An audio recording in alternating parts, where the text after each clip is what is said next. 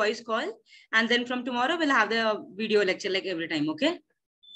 Uh, so today, the plan of ours is to complete the company audit topic in full.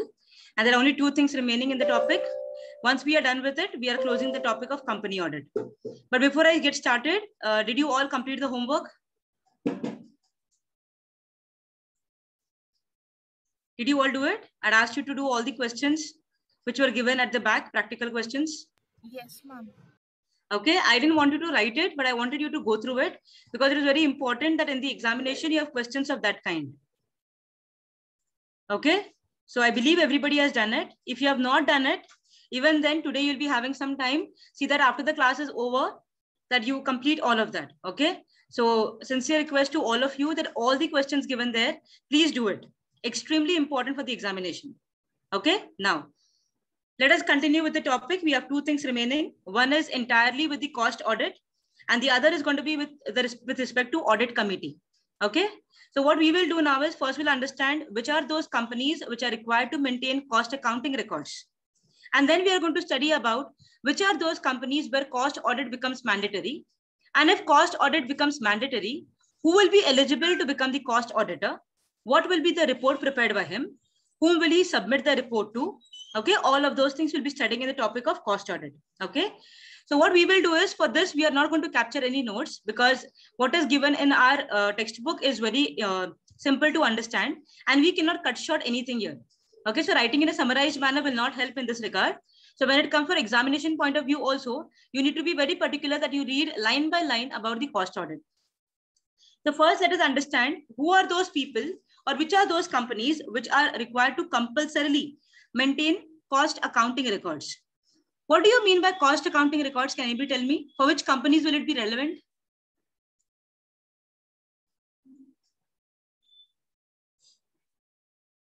large organizations Which organizations? large Uh, large organizations uh, couldn't be precise.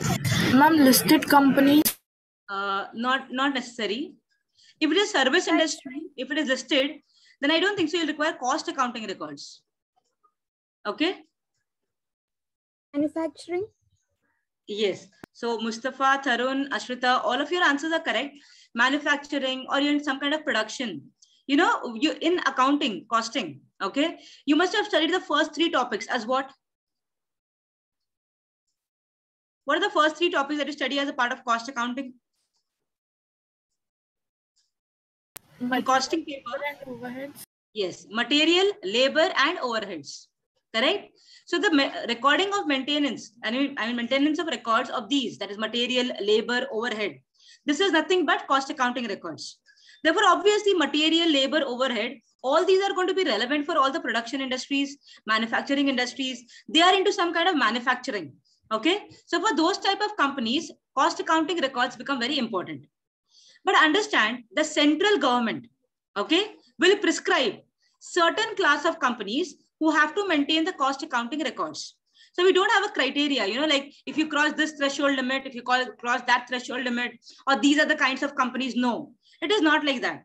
So what happens is central government will give a list and it will prescribe some list. And for these companies, it will become mandatory that you have to maintain the cost accounting records.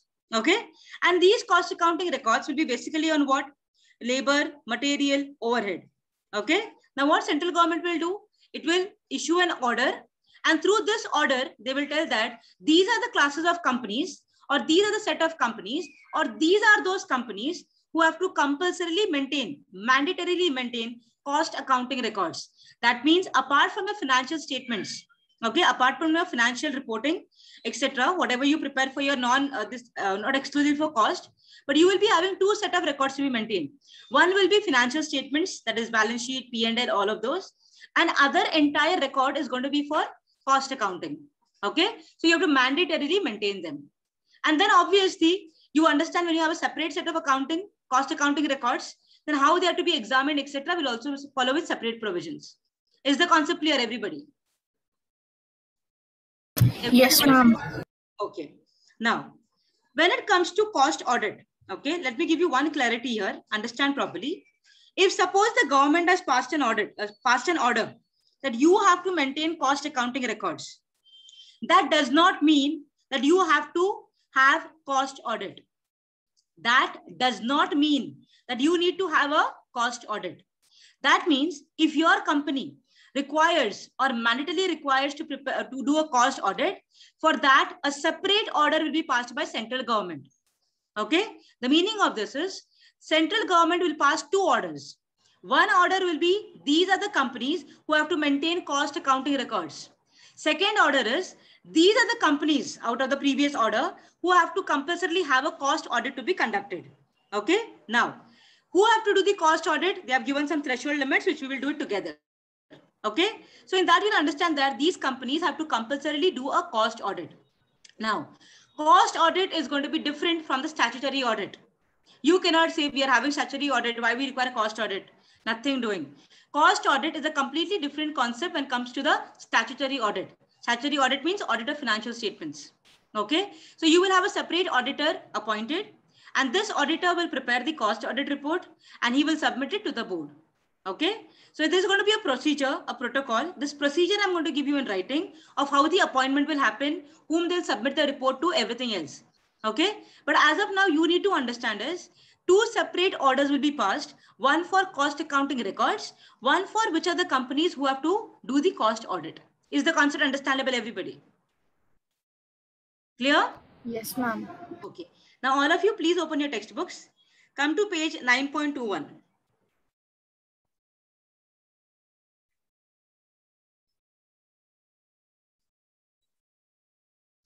Okay. Now, there they have told you first. Order by, we are doing section 148. Okay. So, order by central government for maintenance of cost records. So, these are only what?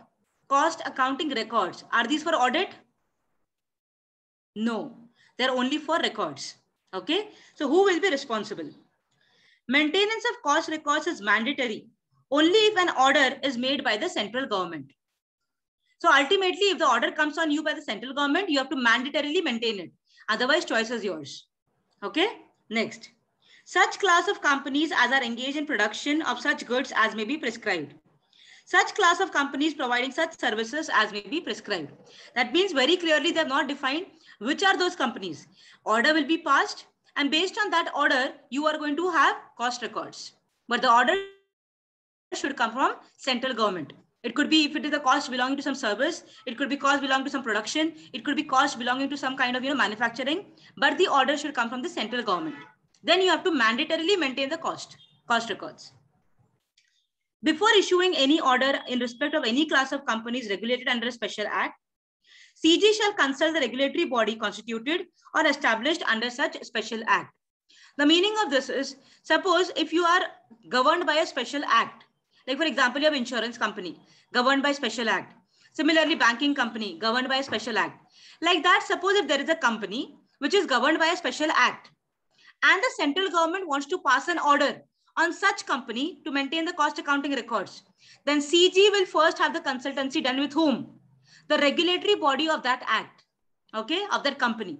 All right. Like to give you an example, suppose if it is insurance company, it is one of the insurance companies, and insurance company we know it is the it is the regulatory body is IRDA because it comes under that. Now imagine central government is passing an order to uh, prepare cost records for one of the insurance companies. So what central government will do before passing this order, it will first take the consultancy. It first take the you know, understanding with that of the regulatory body. You should take a consultancy to understand whether it is required for them or not. Are you already giving them that uh, provision in your respective act, etc., etc. Only after consultation, central government can pass an order. Is the concept clear, everybody? Yes, ma'am. Okay, all right. Next, order by central government for conduct of cost audit. Order by central government for conduct of cost audit. Now we are focusing on what? Audit. Okay. Now, conduct of cost audit is mandatory only if an order is made by the central government. Order for which companies? Very, very important for examination. Such class of companies for which CG has made an order for maintenance of cost records. Okay, so whom can you give this order to? Obviously, only those companies who have to maintain cost records. If you don't have to maintain cost records, how can you prepare? How can you ask for audit? Okay. So obviously these companies are going to go, be the list of those companies which were given in the first order. So in the first order, there are 10 companies. Okay, that these 10 companies have to maintain the cost records. Then cost audit will be given to only these 10 companies only. One of the 10 companies or a class of these 10 companies. And which have net worth as the amount may be prescribed or turnover as may be prescribed. All right. So what is the prescription? We'll see in the rule. Okay, next. Cost audit shall be conducted in the manner specified in the order made by central government. Now, what is the rule? How appointment is done? Who have to compulsorily have a cost audit, etc., etc. All this I'll give you in writing. And the, this part is very, very important for the examination. You'll have a straight question in the examination. What are the provisions with regard to cost audit under section 148? Okay. And then you have to give all the details coming under it. All right. So all of you, please close your textbooks.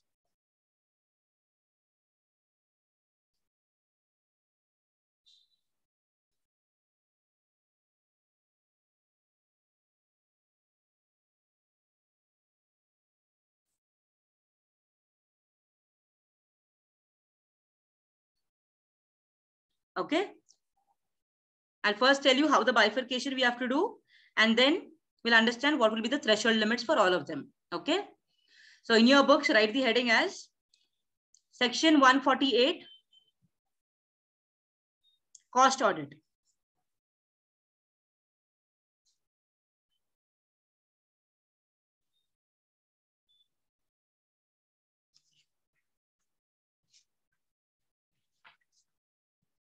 Is everybody with me? Yes, ma'am. Okay. Now listen to me very carefully. Understand it clearly. You'll understand. Uh, you'll be in the, the think of what we are doing. Okay. Now, when government passed the order for who should maintain cost record or who should have the cost audit conducted, they bifurcated the industries into two parts, regulated sector, non-regulated sector. I will tell you which are the industries which come under regulated sector. And there are some which come under non-regulated sectors. Okay. So what they have done is threshold limit of who should maintain cost records or who should who should do the cost audit. They are based on the proper bifurcation of the regulated sector separately and non-regulated separately. That means the turnover limit for regulated sector will be different. Turnover limit for non-regulated sector will be different. Okay. Net worth, regulated sector different, non-regulated sector different. So first you need to understand is what is regulated, what is non-regulated. Once you understand which companies come under these, then looking at the question, you need to apply which threshold limit will be applicable here. And if you come in the threshold limit, or if you cross the threshold limit, then cost accounting records maintenance will be mandatory for you. And then you'll also understand when will cost audit become mandatory to you. Okay. After understanding this, we will do who can become the cost auditor, when is the cost audit conducted, who will appoint, who will remove, etc., etc. Okay. So all of you in your books, write rule three. Rule three of companies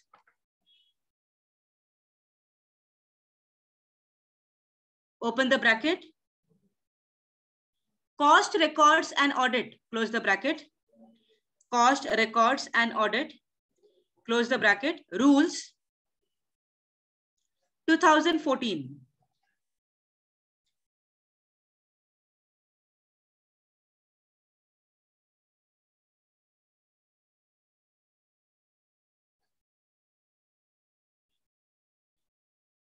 okay?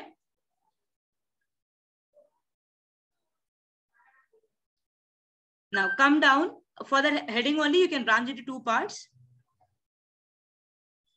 First, regulated sector.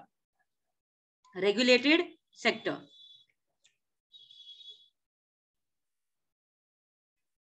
Other side, non-regulated sector.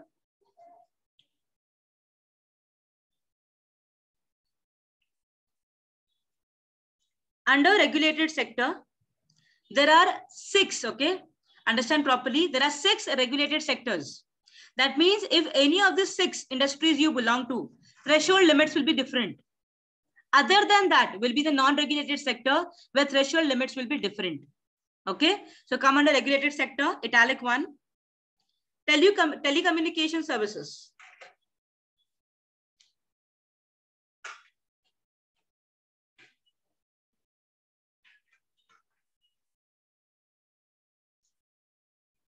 Next, generation, distribution, and regulation of electricity. Generation, distribution, and regulation of electricity.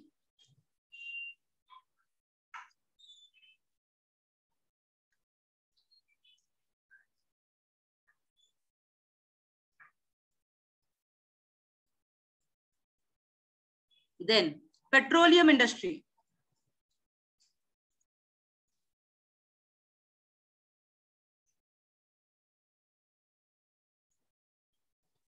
Then, drugs and pharmaceuticals. Drugs and pharmaceuticals.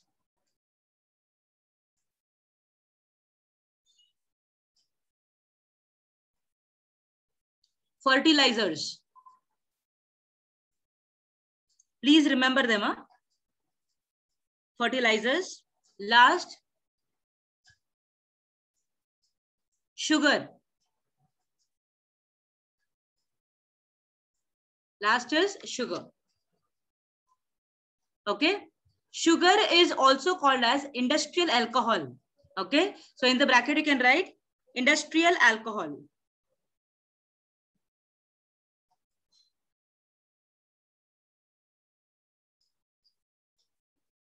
So these are regulated sectors. Okay.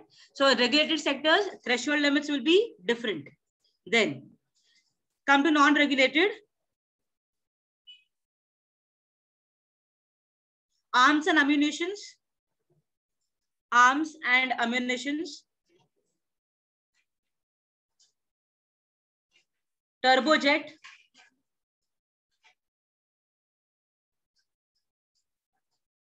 Steel.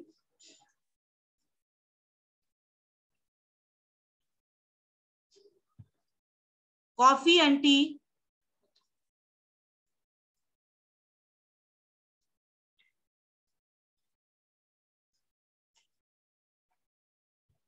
Aeronautics, etc. Basically, regulated sectors are six.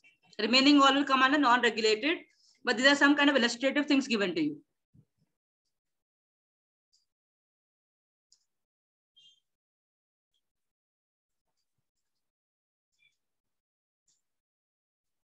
Okay. Finish that, come down. Mandatory maintenance of cost records. Mandatory maintenance of cost records.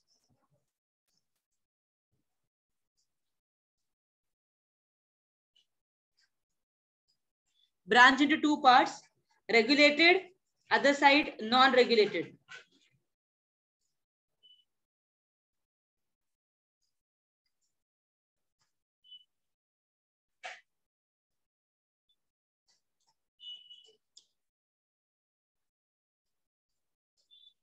Under regulated, put an arrow down.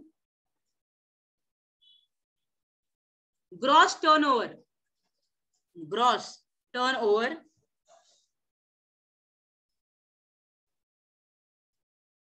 Covering products and services. Covering products and services. Rupees 35 crores and more. Rupees 35 crore and more.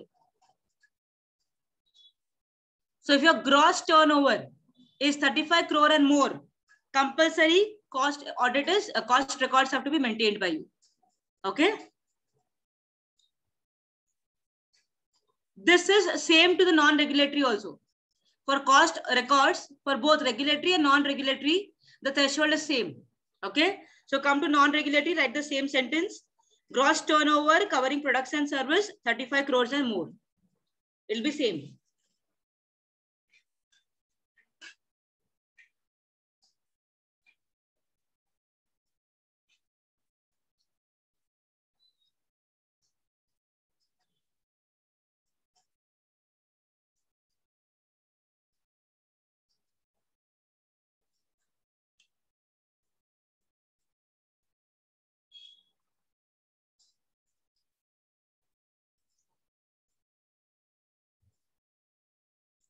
Then finish that, come down, write the next heading. Mandatory maintenance of cost audit. Sorry, mand mandatory conducting of cost audit.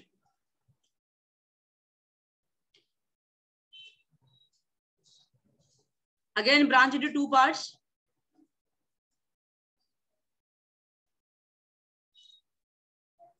Regulatory, non-regulatory.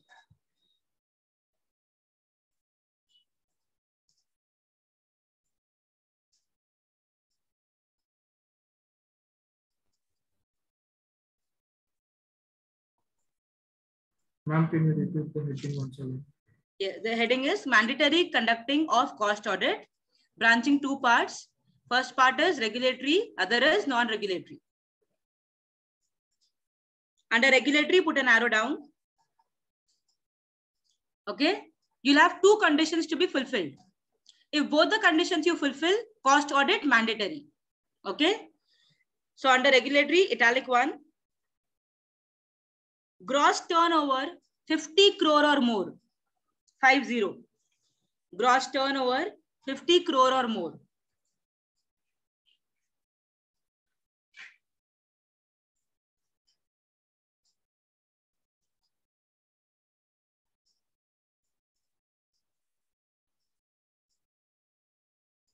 And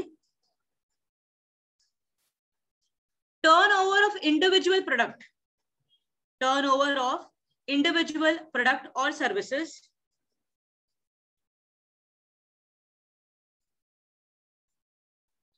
rupees 25 crore or more.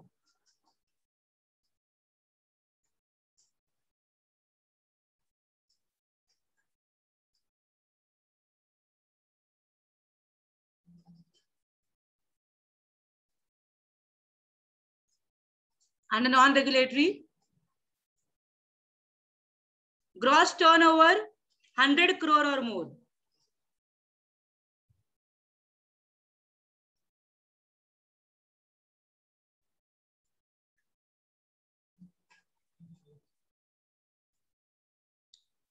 Turnover for individual and turnover for individual products or services.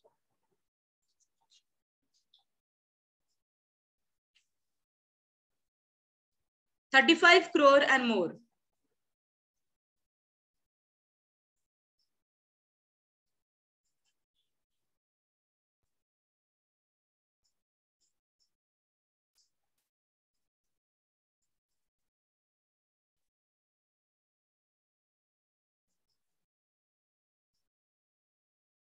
Simple, everybody?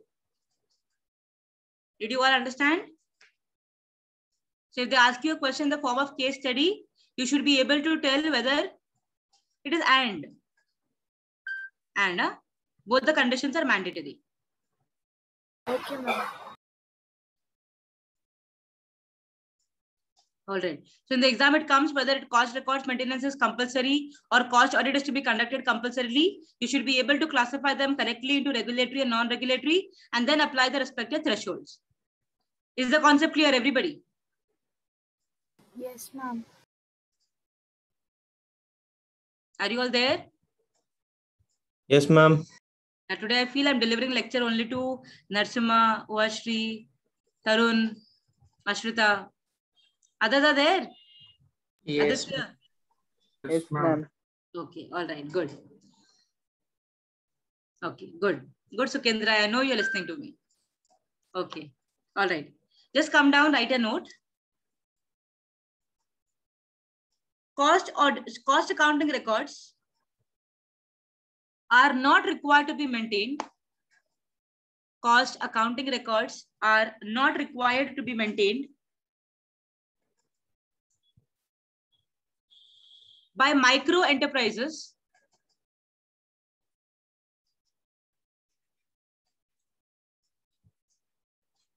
and small enterprises.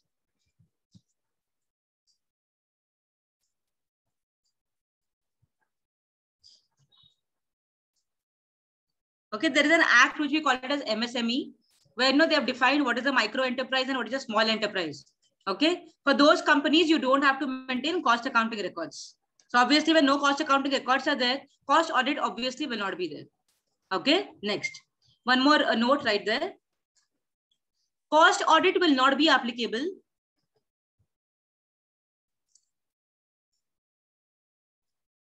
to those companies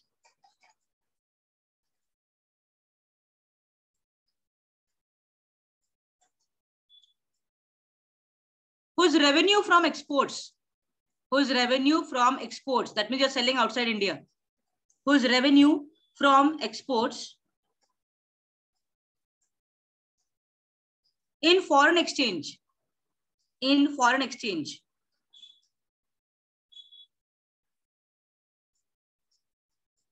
exceeds 75% of its total revenue, exceeds 75% of its total revenue.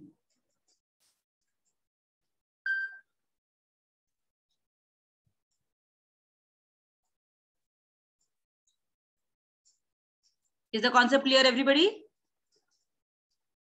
That Yes, means indirectly the government is supporting what? Government is Exports. promoting what? Exports.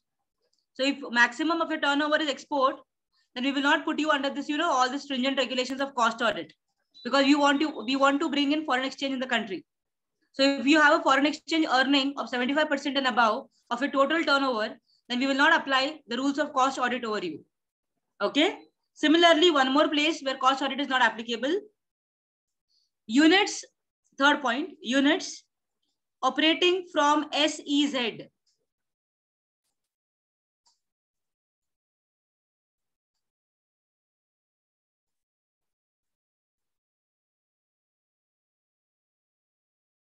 SEZ are like as if in India you're living in abroad.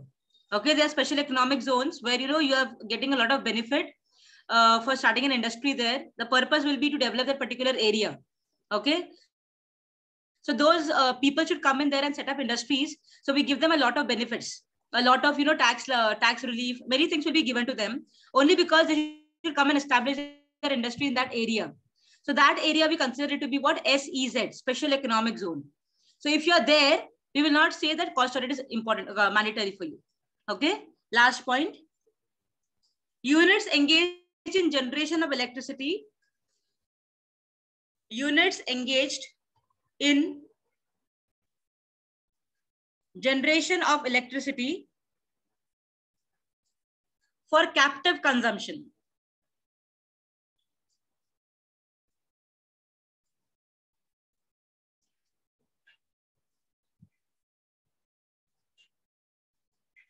Okay. Uh, captive consumption is defined in the Electricity Act. Okay. So it has the same meaning they say. And in Electricity Act, captive consumption is basically meaning to say that it has been uh, processed and used for the same industry. Okay. So if you're into that kind of uh, business, then you don't have to uh, compulsorily perform a cost audit. Very clear, everybody? Yes, ma'am. All right. Now, how to maintain cost records? Okay. How to maintain cost records? Very simple. Any company which is coming within the ambit of the threshold limits, then the company, along with all the branches that they have in India, they all have to compulsorily maintain cost accounting records. These records will be with respect to, you know, uh, uh, material, labor, overhead, etc. And from 1st April 2014 onwards, they have to start maintaining the cost accounting records. And that will be made in CRA1. The format given to you is CRA1. Okay. Now, we will not do the writing of this because it's pretty simple to understand. All of you, please open your textbooks, come to page 9.22.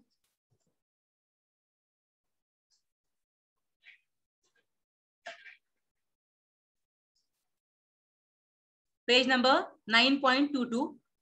There they have told you Rule 5 of the company's cost records and audit rules 2014. Please do it by yourself, all the three points. If any point is not clear, please let me know. I'll give you three, four minutes time. Please do it.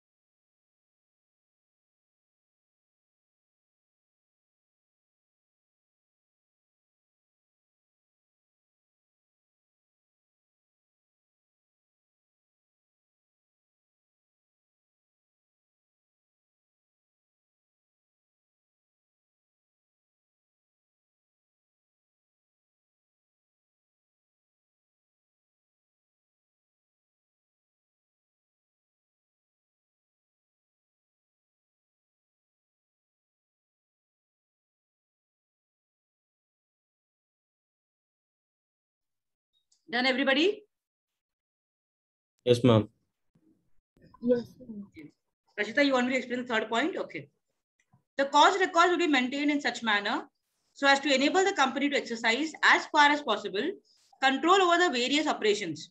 Okay, so in cost accounting records, what happens is the manufacturing production industries. So you should have a control over your expenditure, control over everything. So we should do it in such a manner that control over the various operations and cost to achieve optimum economies in utilization of resources.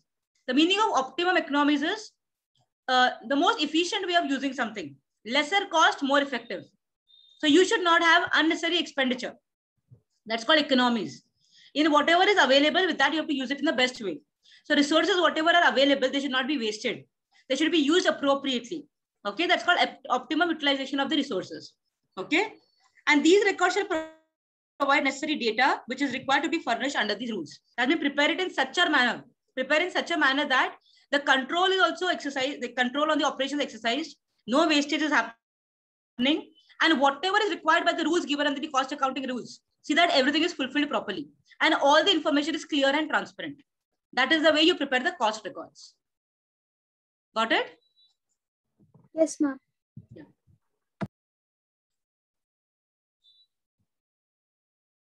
Uh, Mustafa, where is it given?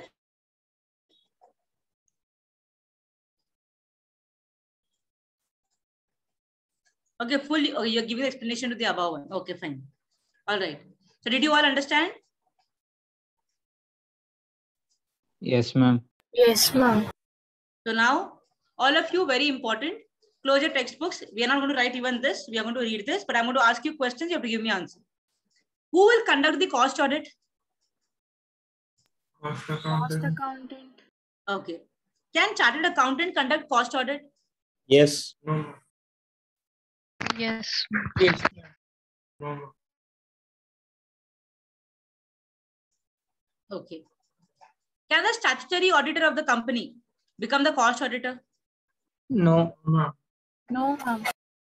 Okay. If the company is preparing a cost or uh, statutory audit, if the company is under the statutory audit, is it important for them to have the cost audit or they can say no for it? they can say no. But that means cost audit is in addition to statutory audit or you can mix them together. It is an addition to. Addition, ma'am. Addition. Okay. Who will decide, who will appoint the cost auditor according to you? Board. Board. Okay. Who will fix the Shareholder. remuneration? Shareholders. shareholders. Okay. Now, most of your answers are correct except the one where you said a chartered accountant can become the cost auditor. No, only a cost accountant can become the cost auditor. When can a chartered accountant become a cost auditor? When he also has the qualification of cost accountant. Okay, so only having the qualification of a chartered accountant, you will not be eligible, eligible to become what? A cost auditor. Okay, and a statutory auditor cannot be appointed as the cost auditor. That means there have to be two different firms or two different individuals doing cost audit and statutory audit. Is the concept clear, everybody? Yes, ma'am. Okay. All right. So all of you, please come to page 9.22. Appointment of cost auditor by the board. Left margin market important for the examination. Read all the points given there. Pretty simple to understand. And as you said rightly, they are appointed by the board, agreed. And also uh, the point that the remuneration will be fixed by the members of the company. So all those points were correctly captured by you.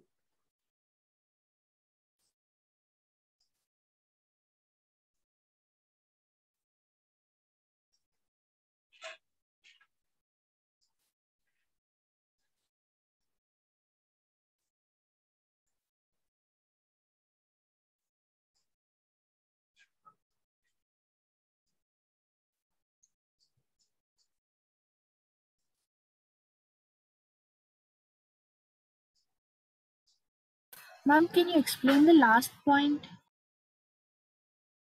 Now, when a statutory audit is conducted, all the questions, all the inquiries, all the books of accounts will be made available to the auditor. Yes, ma'am. Same thing with the cost auditor. Whenever cost auditor is asking any question, asking for any books, asking for any kind of you know uh, movement from different branches, everything should be permitted by the company to him. That means you have to provide all the facility as required by cost auditor. Okay, ma'am.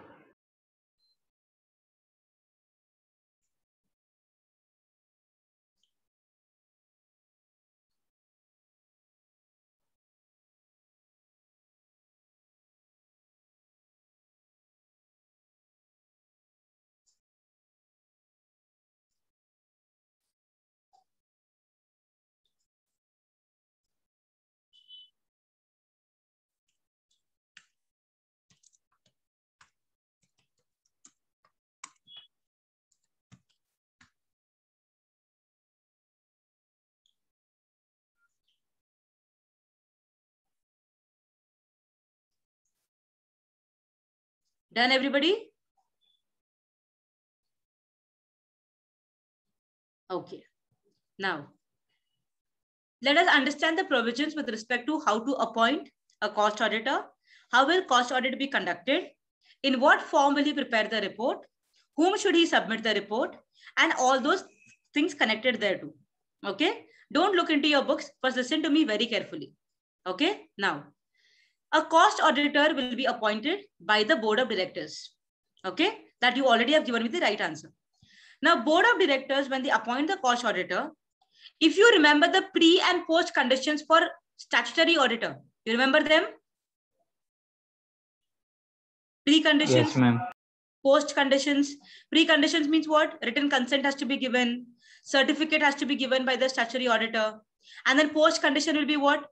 That you have to inform the cost auditor about his appointment and then file it with the ROC in the case of statutory auditor. Clear everybody? So the pre and post conditions will remain same for that of the cost auditor also. Meaning of that is the cost auditor has to be has to give a written consent that he is willing to become the cost auditor. Second, he has to give a certificate about his qualification. That means he's not disqualified. This is the, within the limit of holding his cost audits. Uh, whatever legal proceedings are going against him, all true and correct impression he has given. All of those things he'll give a certificate for. Then, when you talk about uh, uh, future conditions, that is post conditions, then company has to inform the cost auditor about his appointment. Correct? On the same lines, the company has also to file with the central government. Your ROC doesn't come. The company has to file with the central government the notice of appointment of cost auditor. Okay. In a statutory auditor, what we do within 15 days, the notice of appointment has to be given to whom? ROC. Here it is not ROC. Here the main authority over the entire thing of cost audit is under central government. Therefore, you have to inform the central government within 30 days, 30, okay? Or within 30 days of what? Within 30 days of what? Appointment, Yes, an appointment happens where? Annual general meeting, No, it is he's appointed by the board. board meeting, board meeting. 30 days from board meeting or 180 days of the commencement of the financial year whichever is earlier. Understand properly? 30 days from the conduct of board meeting or 180 days of the commencement of the financial year that is board meeting or 30th september whichever is earlier. You have to inform it to the central government about his appointment. Is the pre and post condition clear everybody? Yes ma'am, Okay, Pre condition verbatim from statutory audit. Post condition, uh, the first part is pretty simple, but second one is telling you that within 30 days you have to inform the central government. Okay, or 180 days within the uh, beginning of the financial year, whichever is earlier. Is the concept clear, everybody? yes ma'am, Okay, so all of you please come to your textbooks.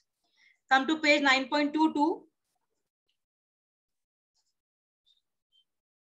I want you to read third paragraph that is notice of appointment and tenure of the cost auditor. Okay, the first and the second point only.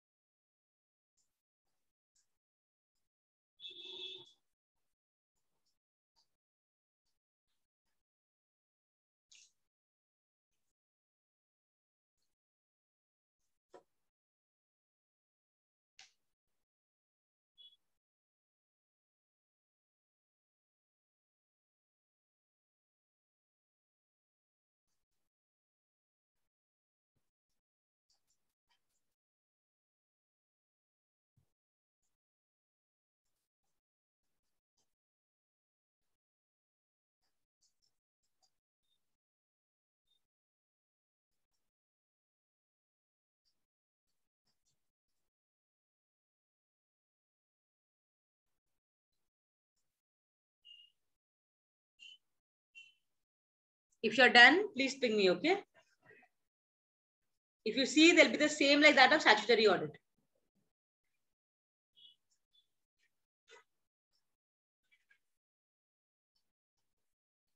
Ma'am?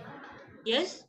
Ma'am, is there any uh, limit for number of cost audits in a year like statutory audit? There is a limit like that. It is given in the cost accounting uh, rules, okay? Okay, ma'am. Yes, there is a limit. I exactly don't know what is the number, but there's a limit given by the respective act. Like how we have ICI Act, the same manner they also have it. Okay, in that they have given you the maximum limit. Okay, ma'am.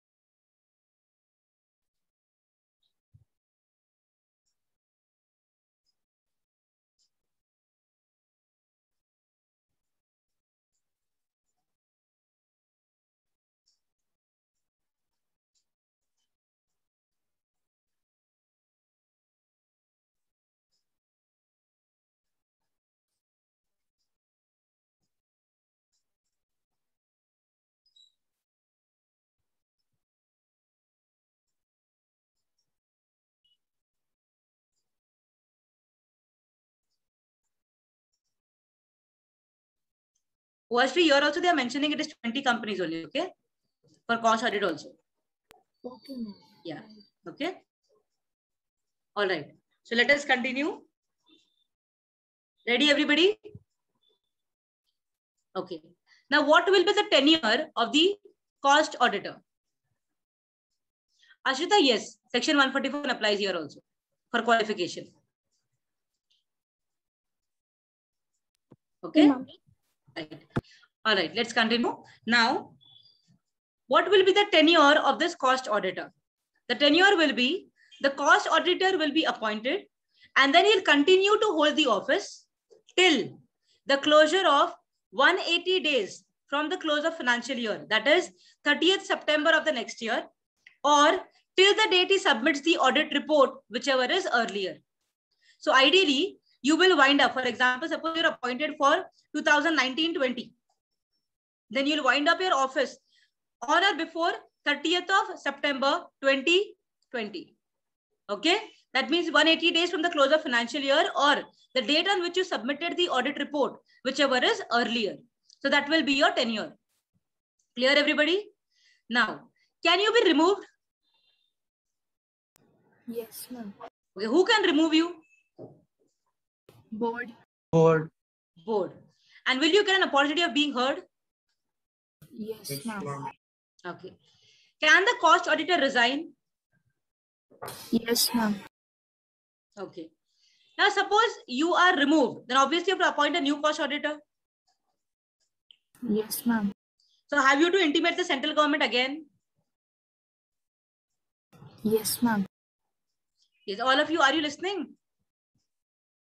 Yes, ma'am. Okay. Yes. All right. Then, can casual vacancy arise in the course of cost auditor? Yes, ma'am. Yes, ma'am. Is the cost accountant also is a person? No, he can also die. So, can casual vacancy arise? Yes, ma'am. Who can fill it? The board. board. Within how many days? 30 30 days. days. 30 days. And once you appoint a new person, whom you have to inform? Central government. Central government. Good. Okay. Now, cost auditor will prepare the report and give it to whom? To the board. Board. And will he write all the qualifications, adverse remarks, and everything in his report? Yes, ma'am.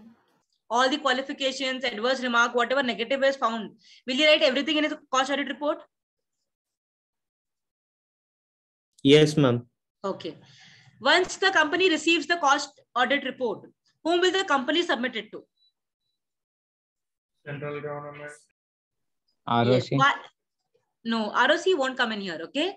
Central government. Why central government? Logic is very simple. Because who has passed an order for audit? Central government. Who has to get the final audit report? Central government. Is the logic understandable, everybody? Are all the questions clear to all of you? Yes, ma'am.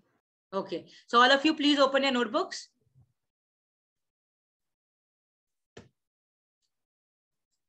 Come down in the notebooks and next heading will be provisions with respect to cost auditor. Provisions with respect to cost auditor.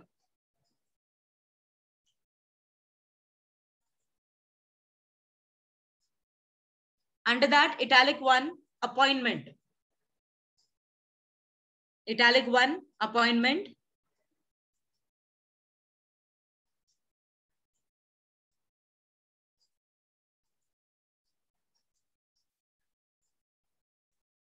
Within 180 days,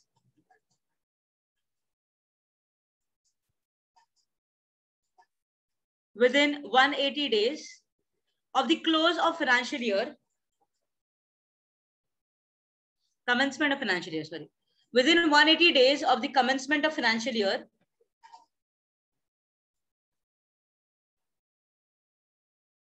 or 30 days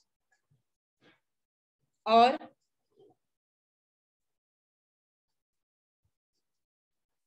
one second you've written the heading as appointment right Yes, ma'am. yeah it's only one within 180 days of the commencement of the financial year okay? Next point. Preconditions. Preconditions. And that same as statutory auditor.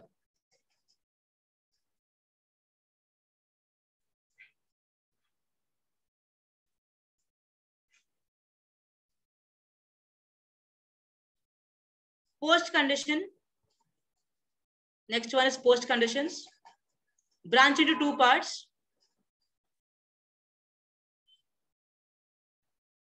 First part same as statutory auditor.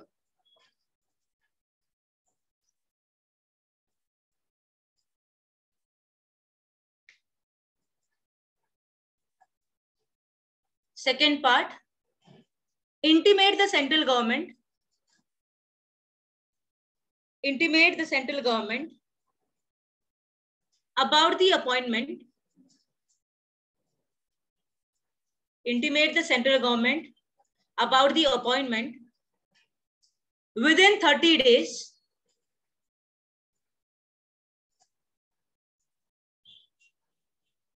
of board meeting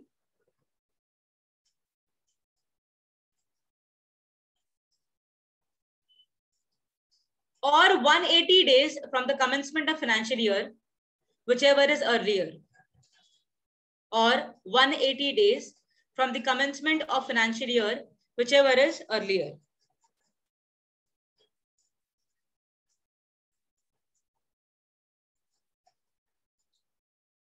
Put an arrow down.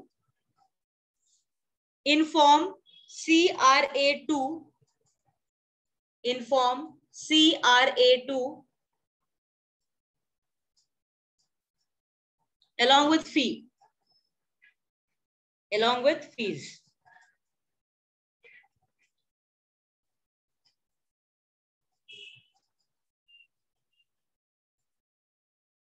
Next point. Removal of the cost auditor. Removal of the cost auditor. Under that, by the board, by the board,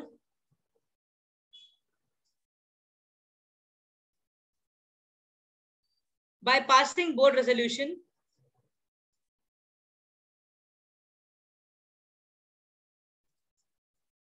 By passing board resolution, comma, giving reasonable opportunity of being heard, giving reasonable opportunity of being heard to the cost auditor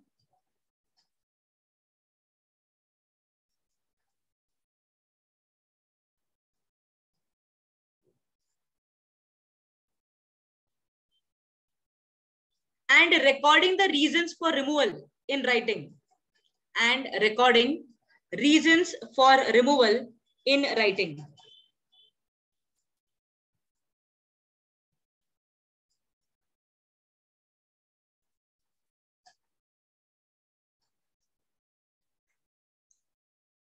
Next point, casual vacancy.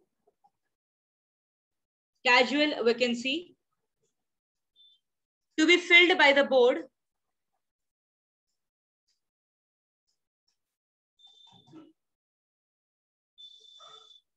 Within 30 days.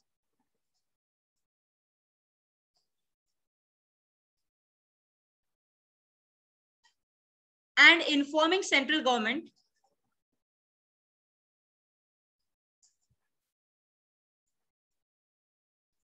within 30 days of appointment informing central government within 30 days of appointment.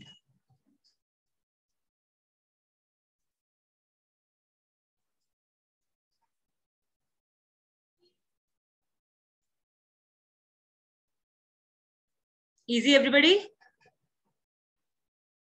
Yes, ma'am. all right. Okay. Yes all of you please close your notebooks come to your textbooks and please read the last points given there fourth fifth sixth and seventh. Page 9.23 page 9.23 they have given you points four five six seven. Please go through it quickly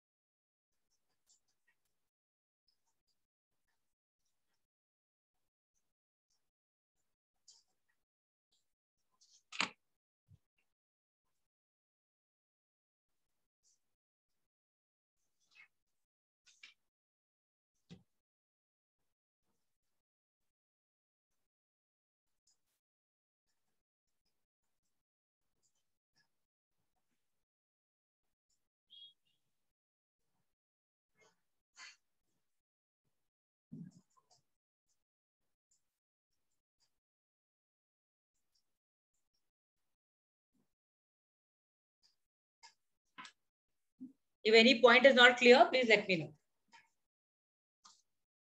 And also after you finish reading those points, just have a quick glance over the chart which is given to you there.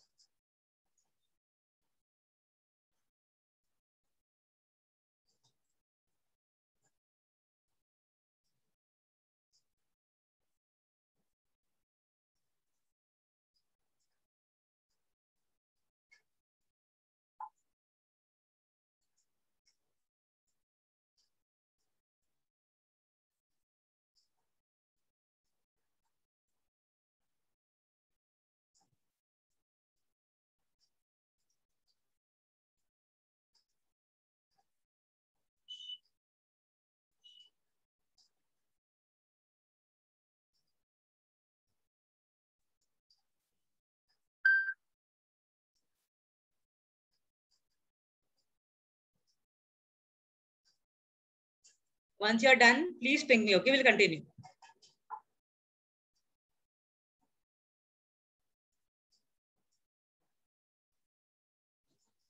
Done, everybody? Yes? Yes, ma'am. Okay, all right. Now, tell me about the remuneration of the cost auditor. Okay. Now, assume the company is having audit committee.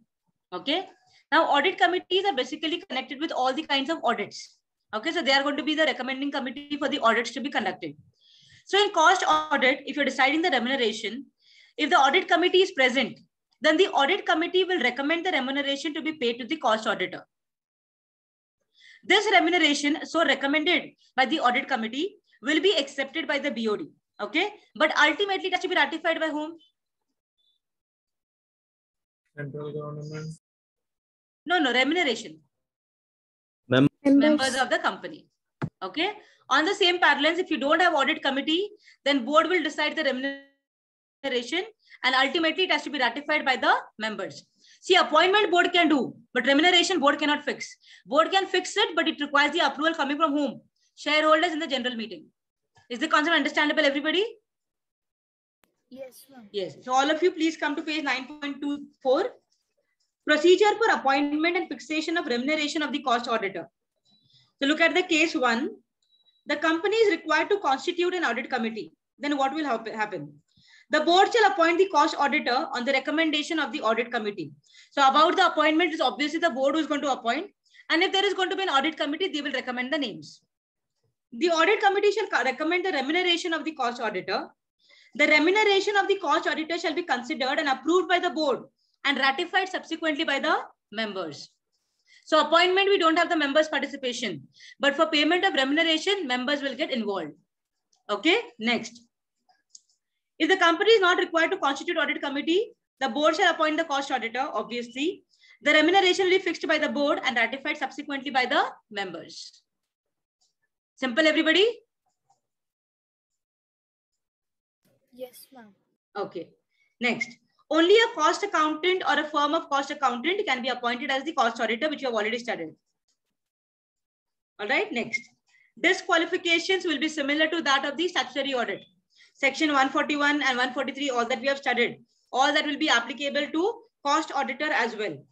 And cost audit will be done in accordance with cost accounting standards. How we have auditing standards, like that we have cost auditing standards, which is given by the Institute of Cost Accountants of India. Okay, so the cost audit will be done according to that. Is it simple, everybody? Yes, ma'am. Okay, last. Cost audit report. All of you with me, okay? The cost audit report means the duly signed cost auditor's report on the cost records examined and cost statements which are prepared as per these rules, including any attachment, annexure, qualification or observation attached with or included in such report. The cost auditor shall submit his report to the BOD that we already understood that cost auditor will give the report to the BOD. Within 30 days of the receipt of the cost audit report, the company shall furnish to central government a copy of cost audit report and full information explanation to any reservation or qualification contained in the cost audit report. That means if the cost auditor gives you a true and fair report, then okay, no problem, we'll forward it. But if suppose the cost auditor has given you qualified opinion, gives you some kind of reservation, gives you some kind of adverse remark, then you should forward it to central government along with the explanation of why. Okay, then CG may call for such other information as it may deem fit.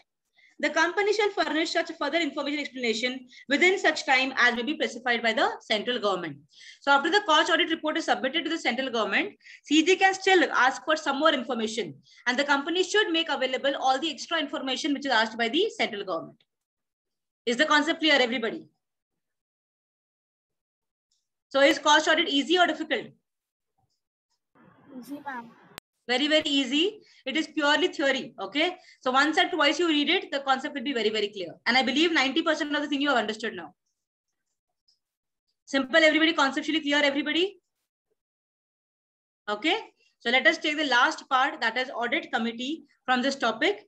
In audit committee, what is most important is which are those companies where audit committee is mandatory, who are a part of the audit committee, and what are the functions of the audit committee. Okay. If we cover this, the remaining two paragraphs, I think you can easily manage. All right. Now, audit committee is one of those committees in the organization or in the companies, which are going to be uh, basically into the uh, purview of doing everything connected to finances. Okay. That means recommendation of the cost auditor, recommendation of statutory auditor, approval of the financial statements, looking into the overall financial structure of the company. So they're more concerned with that part. Okay, so audit committee is basically a part of board of directors who are going to concentrate more on the financial part of the company. Okay, now audit company committee is mandatory for certain class of companies. Okay, obviously listed companies, it is mandatory. For certain other public companies, also depending upon paid up capital, turnover and borrowings, you have compulsory constitution of an audit committee. Okay, this audit committee, okay, will have minimum of three directors. How many? Minimum three directors. Out of the three directors, minimum, that is majority, has to be independent directors. Majority of them have to be independent directors. Very important part here to understand is all those people who are connected with the audit committee, all those people who are going to become the part of audit committee, these people should have an expertise knowledge in financial matters, law related matters. Okay. You should not bring an engineer into the audit committee. No. Who will be a chartered or a company secretary or a cost accountant or a normal person who's into finance knowledge. Okay. Only those people who understand finance, understand accounts, only those people are eligible to become a part of your audit committee. Okay, then be appointment of the auditor, remuneration fixation, be any kind of guidance, be any kind of communication with the auditor. All of this will be done on the recommendation of the audit committee. Is the concept clear, everybody? Yes, ma'am. Okay. So all of you, please come to your textbooks, page 9.25.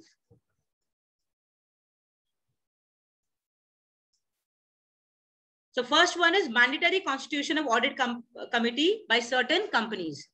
So it is not applicable to all the companies, only for few companies, out of which you already know one answer, every listed company. Okay. In private companies, we don't have the concept of audit committee. Okay. So it happens in the uh, listed companies or other public companies. Then every listed company and other companies as may be prescribed.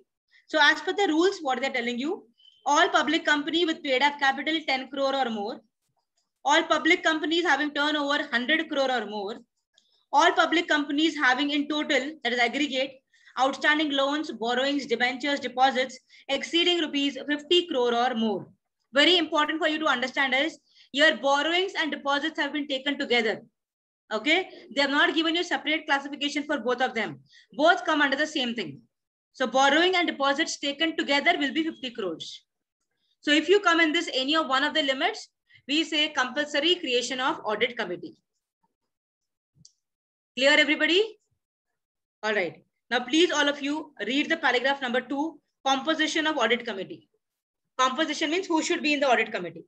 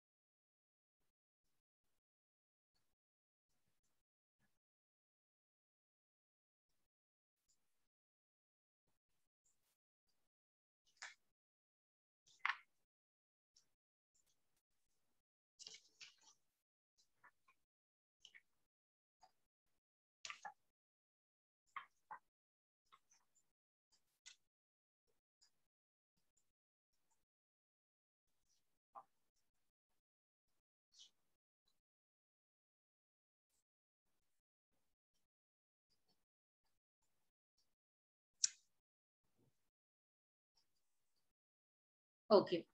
Now, what are the functions of audit committee? That means why do you have an audit committee in the company? The first very important thing you already have studied everywhere, recommendation, appointment, all of that for a company who will give the recommendation audit committee. Okay. Now, everything that is connected to finance, everywhere audit committee will have a role to play, like examination of the financial statements, Okay. Then how is the audit being conducted? Is the audit effective? Is the auditor independent? Okay. Then you will also see that if there are any related party transactions happening in the business, are they happening correctly? Is the internal control system going well of the company or not? Is there a risk management policy there properly or not? So all of this will be coming in the bracket of audit committee because their main focus will to be to be to see all the internal financial structure is correct or not Okay, like you have intercorporate loans. That is one company giving loan to another company, one company advancing loan to another company. So all this should happen properly without any fraud in, involved therein. So for all of this, monitoring committee will be the audit committee. Okay. So suppose tomorrow auditor identifies a misstatement and this misstatement is rectified. Then who will approve this misstatement rectification? Audit committee. That means any modification is happening after auditor has told you. Then who has to approve it? It will be the audit committee. They will review the work of everything. Okay. So that is the power and function of the audit committee. Everything that is connected with the financial aspects. They will try to, you know, mitigate the loopholes, mitigate the chance of fraud, mitigate the chance of manipulation, mitigate the chance of collusion, proper appointment of the auditor. Only appointment is not their duty. Even to see whether auditor is doing their work properly or not is also their duty. Okay. So all of this comes within the functions of the audit committee. Okay. So all of you with me. Functions of the audit committee. The first function is recommendation for appointment, remuneration, and terms of appointment of the auditor. Okay. Next. Review and monitor the auditor's independence and performance and effectiveness of the audit process. That means only recommendation is not their work. It is reviewing and monitoring. That is rechecking and supervising the auditor's independence and performance. Then examination of financial statements auditor's report. Approval of any modification of transactions of the company with the related parties. Okay, very, very important role. Whenever you have related party transactions, approval will come from the audit committee. The audit committee should give an approval for uh, any transaction happening with related parties because maximum chances of manipulation is there. Scrutiny of intercorporate loans and investments, valuation of undertakings or assets of the company wherever it is necessary. What is the meaning of valuation of undertaking and assets? Like, you know, when we have mergers, when we have acquisitions, we say, I'm going to take over A company, we are going to take over B limited. So the valuation of these companies will be called as valuation of the undertakings. Okay. That means at what price you can buy them at. What is the current market value of their company? That is called as valuation. So all of this will be, uh, you know, under the scrutiny or the valuation will be done by the audit committee. Then evaluation of internal financial controls and risk management system. Monitoring the end use of the funds is very important. I told you whenever public offer is made, it is mandatory that the reason for which you make the public offer, only for that reason, you can use that money. That means if you have raised the money for, you know, uh, uh, to construct a tower or to come up with a new project, you can use that money only for the new project. You cannot use it any other place. And who will monitor this? The audit committee. End use means what? Ultimate usage of money. Okay. So monitoring the end use of functions raised to public offers and related matters. Clear everybody? Yes, ma'am. Examination five mark question or four mark question. What are the functions of audit committee? Very easy to write it. Very easy. All right. Next, power of the audit committee. Yeah, power. I want you people to do it by yourself. If there is a doubt, let me know.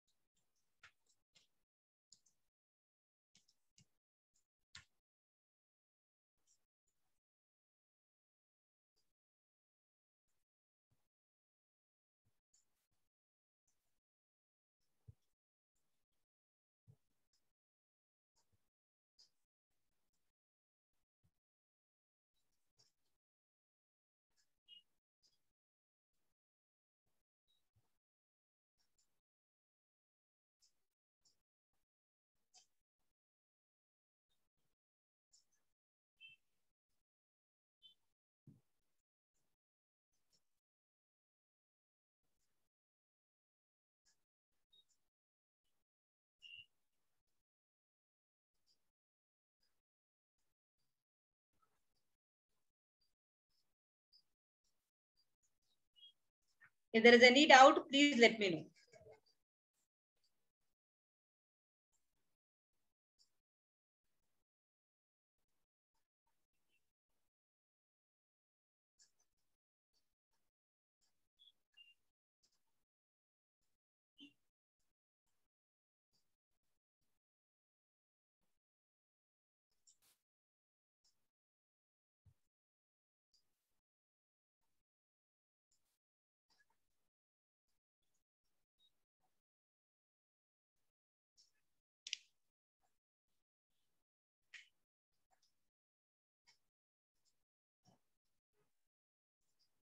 Shall I continue? Okay, all right. Now there is one very important thing you need to understand here is whenever there are companies entering into contracts with related parties, when the company makes any kind of transaction with the related parties, then compulsory you require to have an approval coming from the audit committee. That means if the company has constituted an audit committee, then RP transactions cannot happen without the approval coming from the audit committee. Okay, very, very important that every transaction, everything that you do with RP should be 100% recommended and accepted by the audit committee. Okay, now, but there is one exception to this. Suppose if the company, okay, enters into a RP transaction, related party transaction, without the approval of the audit committee. That is, audit committee has not approved and you enter into a transaction with the related parties either company that is board of directors have entered or individual director has done it but the approval has not been taken from the audit committee. But suppose if the amount is not crossing 1 crore if the amount is not crossing 1 crore then you have if it is not crossing 1 crore and you have also not taken the approval for coming 3 months that means within the coming 3 months approval has not been taken at all from the audit committee and the amount is less than 1 crore then what happens is you must have said in contract act about valid void and voidable contracts? Yes, ma'am. Okay. So what happens is this particular contract, this particular RP transaction will become voidable at the option of the audit committee. Voidable means what? Audit committee can either rescind the contract or could continue the contract. Choice will be with whom? Audit committee. But understand the amount should not cross 1 crore. If it is above 1 crore, it will become invalid because that without audit committee, not possible. If it is below 1 crore and you have not taken the approval from audit committee for three months, okay, then this transaction will become voidable at the option of the audit committee. And suppose if a director has taken the decision, if the director has entered into transaction without audit committee's approval, and if any loss happens, he will be liable to compensate the company he will be liable to make good the loss to the company. Is the concept understandable, everybody? So can you have a RP transaction without audit committee's recommendation? Can you? No, ma'am. No. But suppose if it is less than 1 crore, within three months, you don't take approval. It will become what? Voidable at the option of Audit committee. audit committee. And you know the meaning of voidable. Either they can accept it or they can reject it. Choice is theirs. Whatever they decide will be final. Concept understandable, everybody. Okay? Yes. Yes, I will do it for you, all of you with me. All related party transactions shall require approval of the audit committee. However, the audit committee may make om omnibus approval. Omnibus means at once only all the approvals are done together. Omnibus approval for related party transactions proposed to be entered into by the company subject to prescribed conditions. Suppose the company has already decided 10 RP transactions. So what they can give, they can give a omnibus that is all together one common approval for all the 10 transactions, but they'll put certain conditions. Conditions will be depending upon the situations. Okay. That means for every 10 transaction, you don't have to take the approval of the audit committee. All at once, all the 10 transactions together, you can take one common approval. But this common approval will be subject to conditions. Okay, then. In case of transactions other than transactions referred to in section 188, 188 means RP transactions, and where audit committee does not approve the transaction, it shall make its recommendation to the board. That means except for RP transactions, other transactions did not require approval from the audit committee. But the audit committee will be allowed to give recommendations to the board. That means approval will not be required, but it can definitely give recommendations. Okay, next. In case any transaction involving any amount not exceeding rupees 1 crore is entered into by the director or officer of the company without obtaining the approval of the audit committee and it is not ratified by the audit committee within three months from the date of such transaction, such transaction shall be voidable at the option of audit committee. And if the transaction is with a related party to any director or is authorized by any other director, the director concerned shall indemnify, that is compensate the company for any loss incurred by it. Now understood everybody clearly? Two things you need to understand here. Not exceeding 1 crore and should not be approved by audit committee within three months. Then it will become voidable at the option of the audit committee. Okay, then the above provision shall not apply to a transaction other than transactions referred to in section 188 between holding and its wholly owned subsidiaries. Okay, that means section 188 is what RP transactions. For all RP transactions, it is mandatory. But for non-RP transactions, it is okay. Okay, everybody. And you know, holding company is also a related party. Wholly owned subsidiary is also a related party. When I teach you the concept of related parties through one of the uh, uh, standards, okay, then you'll understand what you mean by related parties. Okay, everybody?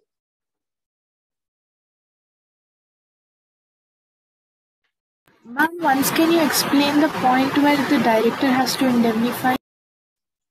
Okay. There, suppose a director's relative, okay? Like for example, uh, maybe director's partner. Director has a own business also. In that partnership firm, there is one more partner. So this transaction is entered into by the director with his partner. So this partner is a related party of the director. Yes, ma'am. Yeah. So when you enter into transactions like this, it is a related party Yes, and you have not taken the approval of the audit committee. Correct? So in such a case, the director will become accountable for it. The director will be responsible for it. Therefore, the director has to make good, make good the loss to the company. Whatever losses incurred because of this transaction, everything has to be indemnified to the company. Yes, Uashri? Okay, ma'am. All right. Now we all studied the board board of directors report. You all remember the board's report. Yes, ma'am. In that, one of the points was what? You have to give a disclosure of the composition of audit committee. Okay. And where the board has not considered the recommendation of the audit committee, you have to give the reasons for that also. Okay. So the disclosure about audit committee will come in the board of directors report, which you have already studied. That who are there in the audit committee, what is the composition, and when is their recommendation not accepted by the board and why. Okay, that will be the last part, disclosure requirement. So the board's report shall disclose the composition of the audit committee, where the board does not accept any recommendation of the audit committee. Like for example, statutory audit recommend auditors recommended by the audit committee. They are not accepted by the board. Possible, right? So the, why you have not accepted should be coming in the board of directors report. The same shall be disclosed in the board's report along with the reason therefore. Clear everybody? Yes, ma'am. Okay. So we are here closing the topic of company audit. So tell me, did you all understand correctly? Yes, ma'am. Is the topic easy, difficult? Easy, ma'am. Everybody can manage it easily now? Yes, ma'am. Okay, I've taught you very slow, consider very, very slow rather. You have done only two, three provisions, two, three provisions. Only the reason is because exam compulsory question from this topic and any question comes, you will you'll be in a position to write it. Okay. Now the homework will be all the MCQs of this topic. All the MCQs, which I'll take up for discussion tomorrow. Okay. And I believe tomorrow we're going to start with the government audit. Yes. What's tomorrow's topic is? Government audit, ma'am. Yes. Okay. So tomorrow we are going to start with the government audit. So uh, all of you, please complete the company audit in full. If there is any doubt anywhere, concepts are not clear to you still, in tomorrow beginning of the session, please let me know. We'll close it and then start with the government audit. From now on, all the topics we do will be winding up in two, two days. They're all small topics, except for audit of items of financial statement, which will take one week's time. Otherwise, all the audit topics are now very small. They're all two, two days only. Okay. So before I get started with that league of uh, series, I want to complete this one big topic. So I want all of you to tell me whatever doubt is there with you still pending in tomorrow's class beginning session. So as of now, are things clear to all of you? Yes, ma'am. Did the topic go easy or did I bore you? It was easy. Yeah, anybody who got bored? You can tell me. Nobody, right, Krishna? Not not boring, ma'am. Sure, because this time you were not participating. No, ma'am, nothing like that. Sure, no? I hope I'm not boring any of you. No. Satish? Yes, No. Satish? No, No, no, okay. You better don't tell yes for this answer, okay? I'll screw you otherwise. All right? Okay, so that is it for today. Tomorrow we'll meet up. From tomorrow, we'll have again back the video classes. Okay? Thank you and have a good day, all of you. Please complete the MCQs. Thank you, ma'am.